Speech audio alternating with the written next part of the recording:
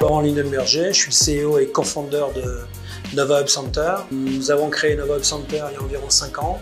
Donc c'est un accélérateur euh, international de start-up premium et euh, nous réalisons tout ce qui est investissement, euh, venture capital, suivi des, des, projets de, ces fameuses start-up. Assez large dans notre, dans notre recherche puisqu'on cherche des start-up premium en fintech, en, biotech, en IoT, en, réalité augmentée, en digital. Nous sommes partis de Miami et euh, nous avons eu de plus en plus de demandes de start-up américaines, canadiennes qui souhaitaient aller sur l'Amérique latine. Donc, euh, dans un second temps, nous nous sommes installés à Mexico. Donc, on a créé ce bridge. Quand nous étions à Mexico euh, City, enfin au Mexique, on a, on a essayé de faire la même chose. Les compagnies mexicaines, les start-up mexicaines, parce qu'il y a de l'innovation au Mexique, il y a beaucoup de start-upers.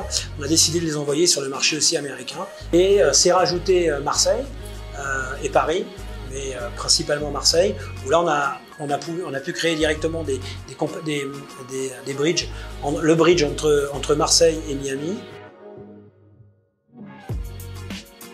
Et puis on a fait la même chose avec, avec le Mexique. Le Mexique, Mexico nous sert de hub pour l'Amérique latine, pour recevoir les compagnies et les startups de, de Colombie, du Chili, d'Argentine. Le Mexique est un pays très entrepreneurial. Et en plus, c'est un grand pays, donc euh, il est entrepreneur dans son grand pays déjà. Il faut déjà le couvrir sur le plan national. Et donc, c'est un pays qui a de la ressource. Et je pense même, avant, avant, quand nous sommes extérieurs, quand on vient d'Europe ou même des États-Unis, je pense que le premier pays avant d'arriver en Amérique latine est le Mexique.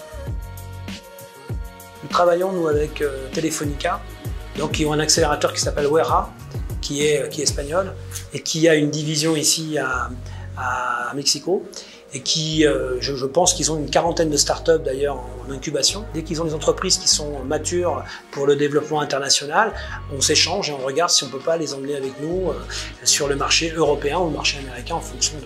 Oui, donc la relation corporate-startup, elle existe, il faut qu'elle existe d'ailleurs, et on doit même l'accélérer. Et ce qui est très important aussi dans chaque pays où on arrive, c'est de retrouver un peu sa base et euh, le réseau euh, correspondant. Et French Founder amène vraiment euh, ce networking.